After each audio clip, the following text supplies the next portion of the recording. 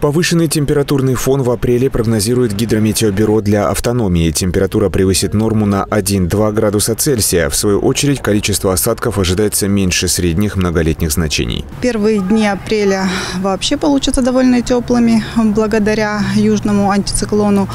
Э, дневной максимум может достигать плюс 13-20 градусов по территории области. Ну а ночи еще немного морозные, это от 0 до минус 6.